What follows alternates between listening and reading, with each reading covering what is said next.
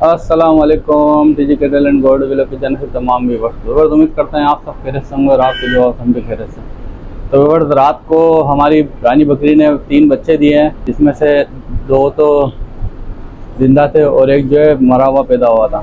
तो जो रब की मर्ज़ी, जो हमारे चैनल पर नए भाई उनको बताइए हमारे चैनल सब्सक्राइब वीडियो को लाइक और शेयर करें। व्यूवर्स आज हमारी रानी बकरी जो है बिल्कुल तैयार हो गई है और आप ये देखें, ये ज़ोर मार रही है, इंशाल्लाह।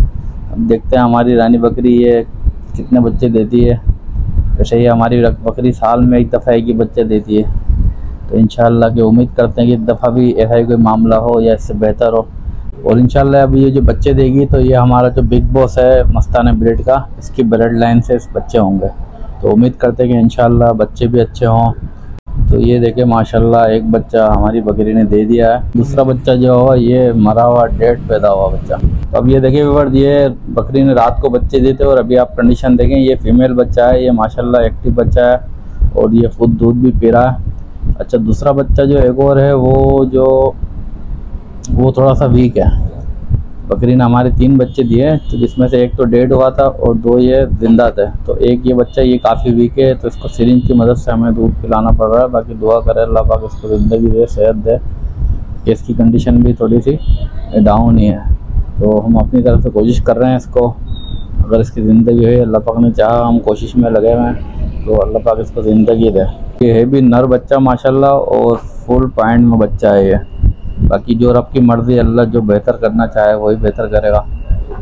तो हम कोशिश कर रहे हैं, बाकी अल्लाह मालिक आप भी दुआ करें। अच्छा विवर, एक चीज़ ये भी देखें, आप, ये हमने एक स्पेशल केज भी रखा हुआ है बच्चों के लिए, जैसे कोई बकरी बच्चे देती है तो कुछ टाइम के लिए हम तकरीबन इसको महीने भर के लिए इस केज के अंदर बच्चों को रखते हैं, ताकि बकरी, बेटे, दूध बच्चे ना पिए और इसके अलावा जैसे दूसरे जानवरों के साथ किसी के पाँव में नहीं आ जाए, किसी के नीचे नहीं आ जाए या बकरी की बेट नहीं जाए इसके ऊपर तो ये हमने इसके लिए केज बनाया हुआ स्पेशल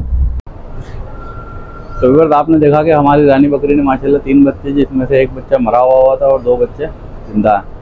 एक बच्चा थोड़ा सा भी वीक है तो दुआ करें आप, अल्लाह पाक उसको सेहत और तंदुरुस्ती दे।